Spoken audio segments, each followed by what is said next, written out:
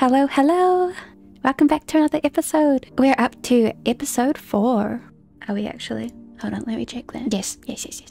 We are up to episode four. four is my lucky number. Let's smash out this video. We're gonna do some eyebrow wigglies. Today we'll cover opening your model file again. Uh, we'll go over which parameters to use, as well as organizational tips such as your warps, We'll then go on to adding your meshes and your path deformer. We'll work on eyebrow Y, eyebrow form. We'll reflect the brow over by copy and pasting. And then after that, we'll just have a look at our physics and scene blending settings. We'll also be able to play some scenes to test out the brows. So let's go, let's get into it. Step one is opening our model file. First up, we're going to open our file. So you can either select open and open your CMO3 file, but I'm just going to open recent file. That is all open. I'm going to find my browse folder. And we're going to start rigging the eyebrows. So I'm just going to hide the hair. And now we're going to zoom zoom in on the eyebrows. Now let's sort out our parameters. So my eyebrow folder looks like this. I am only going to be using these four default parameters because these are the only ones that are trackable by VTube Studio, which is the tracking program that I'm going to be using. The brow X and brow angle are parameters that will not be tracked by VTube Studio. The brow angle and brow X parameters would be useful for uh, animation, I guess, but I will not be using them. So you can just add them to a MISC folder down here, or you could delete them. So we're going to focus on these brow parameters that will actually be able to be tracked. Organizing the brows. You can see here that I've created a warp deformer for each eyebrow. This just helps with organization. So to do that, you would simply select on your eyebrow, so that's this one, and you would go up here and type in eyebrow and then select OK. But I've already got one, so I'm just going to delete that. If you do have the free version, I'd recommend not doing this. It's simply for organizational purposes. So we're just going to be working on this eyebrow and then we're going to copy and paste it over here to this eyebrow. So let's get started. Adding mesh and path deformers. We're going to start by creating meshes and our path deformers. So what you can do is select on the object itself. You can go up here. Some people like to just go auto mesh, go heavy deformation, just like that. But what I like to do is make it more precise, kind of like how we did the eyelashes and eyeliner, because it will help you get more detail in the angles. So let's just go up to a manual mesh edit button, or we can go control E. And let's zoom out and go erase. If your eraser is too big or small, you can use B and drag it left or right to increase or decrease the size. So let's just erase those points. And we're going to outline it manually.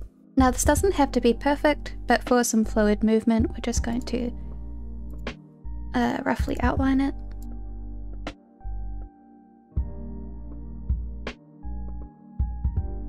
And now you can draw a line down the middle. And let's go auto connect up here. What you can also do is go for division and add more points. And then use the check mark up here. Great, so that's all meshed up. so let's go up here to the path deformer tool. We're to add a few points. You can drag them around. And that looks about right. So let's select this arrow tool. Let's get on to eyebrow Y. What we're going to work on now is the brow LY. So that's for this eyebrow. We're going to have some keyframes on it. So let's do that now. We're going to add three keyframes using this button up here. So we've got three keyforms now. So for eyebrows, when you drag it down to negative one, it's going to be dragged down and it's going to be the opposite for positive 1. So when it's positive 1, you can drag it up. What I like to do is every now and then I like to reveal my hair again just to see um, if it looks weird. So I've just revealed the hair again. You can press H to hide all the points. I think it could go a little bit lower.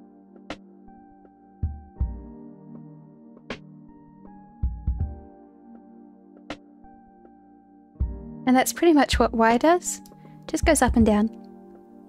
Alright, so that's already done. Look how easy that was. So I'm going to hide the hair again. Okay, hair is all hidden. Next up on the menu is eyebrow form. We're now going to go on to the corresponding brow form. So that is the brow L form. And we're going to add some keyframes. Press H so that you don't hide it anymore. This is where we want a wiggly worm effect. Now what you can do is you can either do it manually or you can synthesize the corners like we did with the eye. So I'm just going to show how I approach the eyebrows. If you mess up, you can go here and reset to default values. And that is going to be our default state for 0 on brow L Y and brow L form. For our default state, when we increase the brow L form on our default height, so our default Y, we're going to want to turn the eyebrow upwards, so you can grab one of these points, hold shift, drag it up.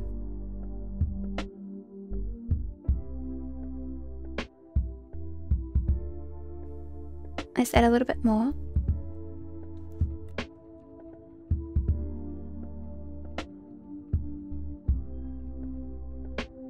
And now let's go to negative one, and it's going to bend the opposite direction.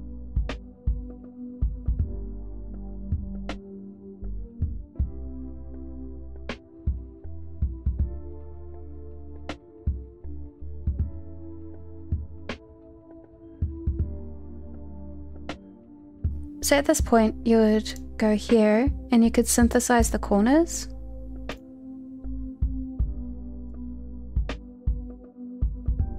And that would work on all of the keyforms. But I'm just going to undo that. You can also put brow form on a separate warp.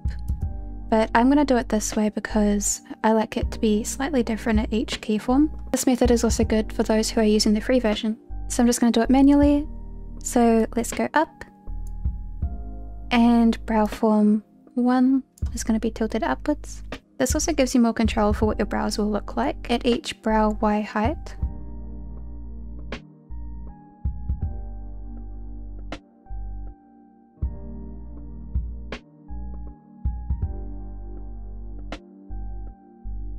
And now let's go down. And we want it to be slightly wiggly downwards.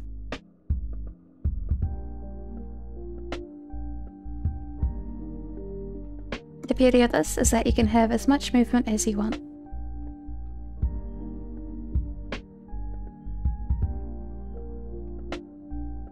You can edit the points here as well.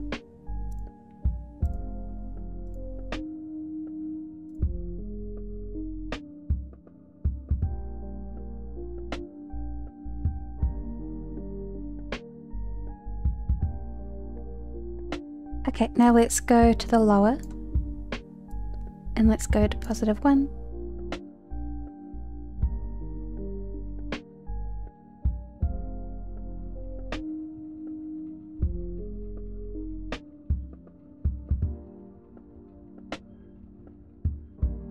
And now let's go to negative 1 on brow form and let's tilt it down. So this one's going to be the very angry or a sad one.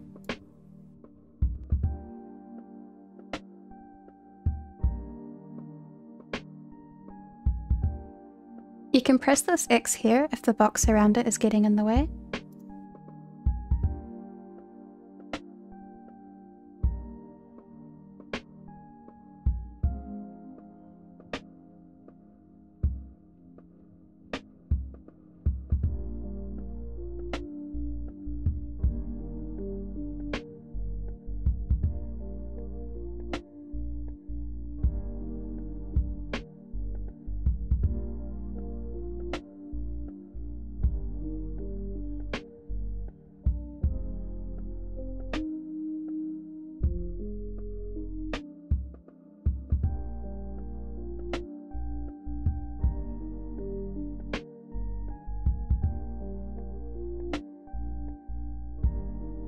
Now what you can do, after you have edited them on each point for more Control, you can link them and see how they look.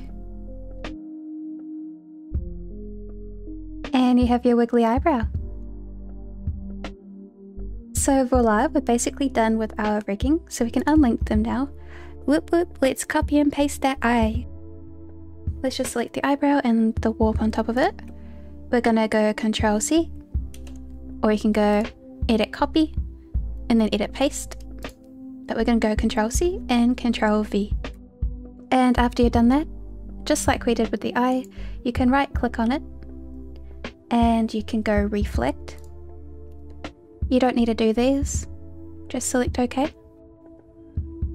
And voila, bam bam boom boom, we have two eyebrows.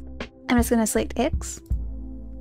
Oh, and if you do want that box back, you can just select away and then go back onto it and the red box appears again. So what I'm gonna do, I'm gonna hide the new eyebrow that I just copy and pasted over. I'm gonna take a snapshot.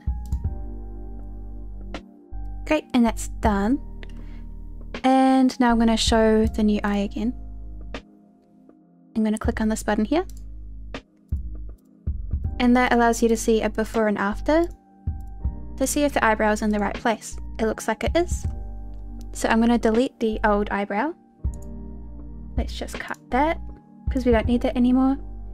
And we have our two fully rigged eyebrows. I'm just going to rename this one. So you can select up here and change the arrow. And now for the parameters. You're going to need to separate it from this eye because this parameter is meant to be just for this eye. So you want this to move independently. So let's just select on it, select on the parameter, and then right click, change, and you're gonna scroll down to brow R Y. Here we go, and click OK. So now it's just moved onto brow R Y. Let's do the same for brow form. Click on it, right click change, find brow R form, Okay, and there we have it. Now for a final discussion with our physics and scene blending settings. So we're going to do an important step. We're going to go Control S and save. Otherwise you can go up here and go save. Let's just make sure that when you go to modeling and go to parameter and then go down to settings for eye blinking and lip sync, we're going to make sure that your IL and IR open are working on eye blinking, so they're ticked. I've also got my mouth form and mouth open ticked on the lip sync for later on. You can go okay. Now let's go modeling, open physics scene blending settings, and let's test out our eye. So we can see that it's already automatically blinking. Let's test out our eyebrows. So I'm gonna go to random B. And you can see that they're starting to wiggle, like little little caterpillars. I can already see here that um, the brow might overlap the eye a little bit too much, particularly when this eye is open. Later on you can just go back and edit, so I'll probably refine it a bit, fine tune. But yeah, that's pretty much the gist of it. Our eyebrows are working. You can also go to random A and random pose. But yeah, we're all done. I hope that tutorial was helpful. Thank you guys so much for watching. Our next video will be about our mouth rigging. I always find the mouth really exciting to rig, so I hope you enjoy that one, so stay tuned. I really appreciate you guys. If you have any questions or recommendations or tips, feel free to comment them down below. As always, thank you for watching. I appreciate you so much. Bye bye.